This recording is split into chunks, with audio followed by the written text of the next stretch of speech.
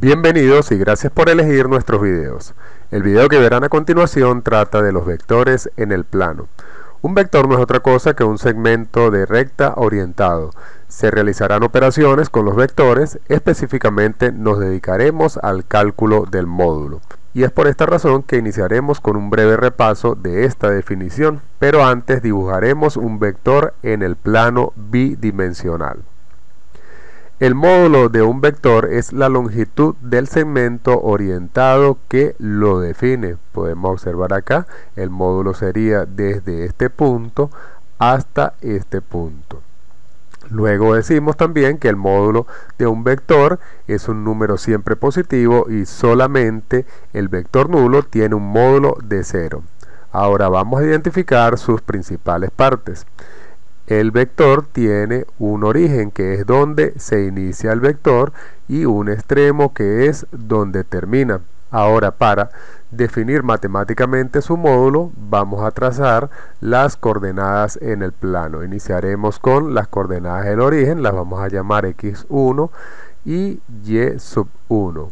Para el extremo le vamos a llamar x2 y y sub 2. Por lo tanto, ahora vamos a definir matemáticamente el módulo del vector. Este módulo viene definido como la diferencia de las coordenadas en el eje x las del extremo menos las del origen, x sub 2 menos x sub 1 elevado al cuadrado.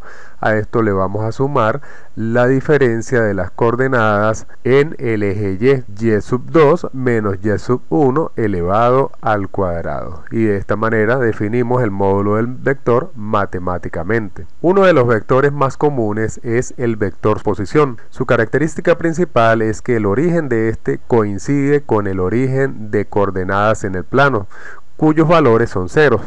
Por esta razón el módulo de este vector queda reducido solo a las coordenadas del extremo, quedando su módulo de la siguiente manera. Observemos en detalle el plano, observen que el origen del vector coincide con el origen del plano. Por lo tanto, esas coordenadas del origen valen 0.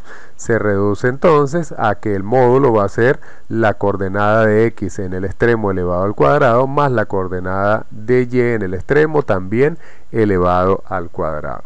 A continuación vamos a realizar los siguientes ejercicios. Calcula el módulo de los siguientes vectores posición. Acá tenemos tres vectores. Sabemos que son vector posición porque solamente nos dan una coordenada. Esta coordenada pertenece al extremo. Para resolver estos vectores solo es necesario aplicar la ecuación. En este caso, como son vectores posiciones, aplicamos la ecuación sin la coordenada del origen. Vamos a sustituir en esta ecuación los valores del extremo para el primer vector, menos 2 y 7. Menos 2 lo elevamos al cuadrado, nos da 4 y 7 elevado al cuadrado nos da 49. 4 más 49 es igual a 53. Hasta acá ya matemáticamente tenemos el módulo del vector. Normalmente en otras áreas como el caso de física se resuelve la raíz cuadrada, quedándonos entonces que el módulo del vector es 7,28. Vamos al ejercicio B. En el ejercicio B, las coordenadas del vector para el extremo son 4 y 2. Sustituimos 4 en X y 2 en Y. Resolvemos 4 al cuadrado es 16, 2 elevado al cuadrado es 4. 16 más 4 es igual a 20. Acá podremos separar este 20 en dos raíces para resolverlo matemáticamente. Nos va a quedar la raíz de 4 por la raíz de 5, ya que si volvemos a multiplicar, 4 por 5 nos da 20 y lo agrupamos en una única raíz. La raíz de 4 es 2, 5 no se le puede sacar una raíz exacta, nos quedaría 2 raíz de 5. Pero repito, si estamos en otra área, podremos resolver la raíz de 5 y dar un valor aproximado, en este caso nos va a dar 4,47. En el caso del tercer ejercicio, x tiene un valor de menos 5 y y tiene un valor de menos 6. Resolvemos, menos 5 elevado al cuadrado es 25 positivo y menos 6 elevado al cuadrado es 36. Sumamos 25 más 36 y nos queda la raíz cuadrada de 61. Si sacamos la raíz cuadrada de 61 nos da un valor aproximado de 7,81. Decimos que nos dan valores aproximados ya que estas raíces no son exactas. Vamos ahora a resolver un último ejercicio. Dice calcula el módulo del siguiente vector. En este caso, este vector viene definido por los puntos A5 menos 3 y el punto B7 10. El punto A es el origen y el punto B el extremo. Con eso vamos a construir el vector AB. Como nos piden calcular el módulo de este vector, vamos a aplicar la ecuación para ello. La ecuación completa con las coordenadas del extremo y del origen. Vamos ahora a sustituir cada una de las coordenadas en la ecuación. x2 es 7 y x1 es 5.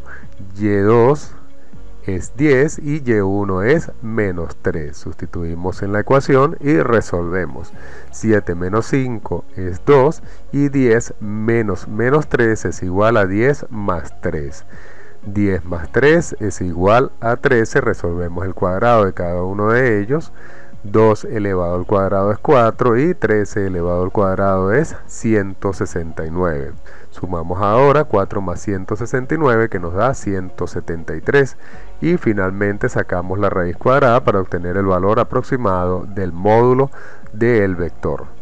De esta forma se calcula el módulo de un vector cuando las coordenadas del origen del vector no coinciden con las del origen del plano cartesiano. Si este video te fue de utilidad, no olvides darle me gusta. Recuerda dejar tus comentarios y suscríbete al canal para que reciba los nuevos videos de física, química y matemática.